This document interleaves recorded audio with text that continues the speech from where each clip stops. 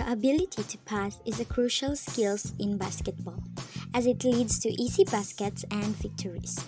Sports like basketball are usually played in groups of people, which make it a team sport.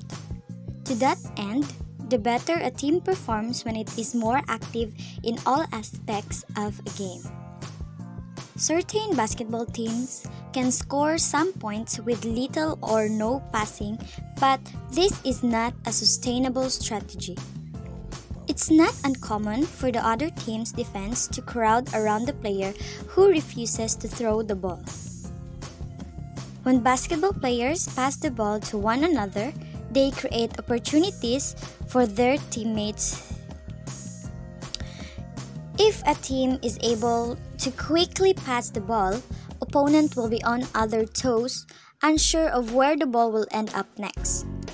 In turn, this can lead to easy layups or three pointers. It's easy to see this tactic when watching NBA teams or college basketball teams that are good at what they do. This team players pass the ball so quickly that there's almost always someone open for an uncontested shot of these teams.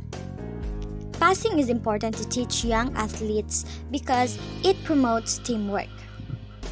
As good as or better than the better than a team whose offense relies on one ball hogging player is one with player who can pass the ball around because of their passing skills, this also make it possible for teams to have easily insertable bench players. However, if the entire team learns how to pass well, especially in youth basketball, these weaknesses are less likely to be exposed.